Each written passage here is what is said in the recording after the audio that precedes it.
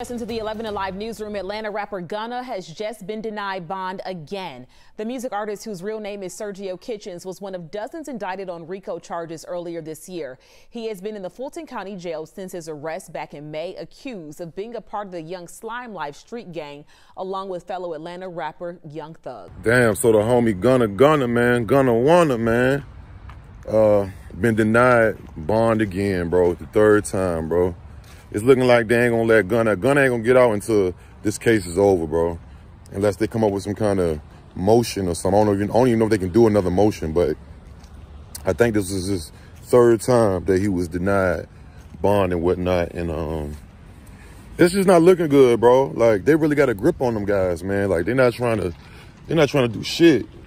You know what I'm saying? As far as like let up on them at, at all. You know what I mean? They ain't trying to let up at all on them. So it, it, it's, it's fucked up for Gunna, man. It's fucked up for the whole YSL, but Gunna ain't really do shit, bro. You know what I'm saying?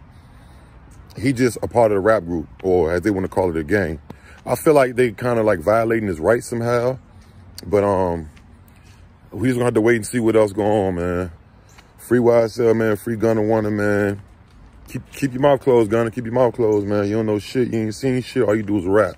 Keep your mouth closed. You're gonna get out, bro. Keep your mouth closed. Y'all let me know what you think. Like, comment, I'm going. Smoking gas. Feel like I cute.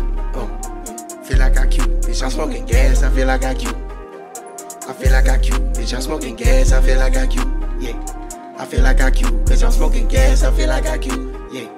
I feel like I cute. I'm sipping that red solo like I cute. Yeah. Yeah. I got all these bitches